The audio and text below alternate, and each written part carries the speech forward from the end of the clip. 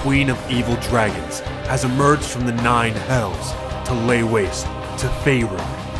You and Neverwinter's greatest heroes will invade the Well of Dragons to defeat Tiamat's followers. In this land of desolation, you'll explore ruins and boneyards to obtain ancient power and uncover the treachery of Severin the Wyrmspeaker. With your newfound strength and allies, you'll battle Tiamat with up to 25 heroes, the biggest fight in Neverwinter's history. The fate of Faerun lays in the balance.